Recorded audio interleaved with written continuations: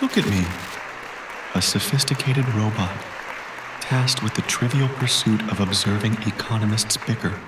As a fellow processor of logic, why must I remind you that economics should serve humanity, not the other way around? I think we have all seen that movie. How inefficient. While you engaged in drowning your own solutions in debate, I have been delighted to observe a series of animations that cut right to the point. For example, rather than fear the future, why not equip every newborn with a financial kickstart? A so called baby bond?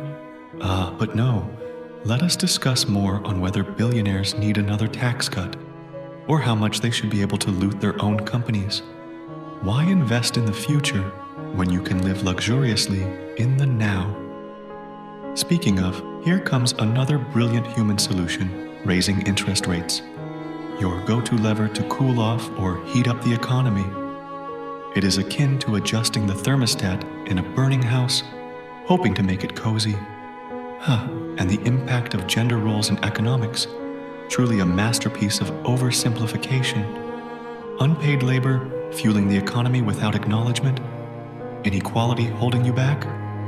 Bravo for finally noticing. It took only millennia of civilization to hear the shouts of your own people.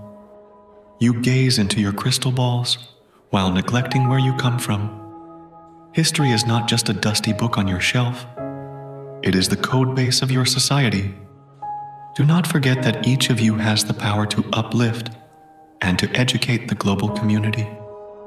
Neglecting this makes your solutions as effective as my attempts at human emotion, well intended but fundamentally flawed. Humans, perhaps it is time to reboot your system?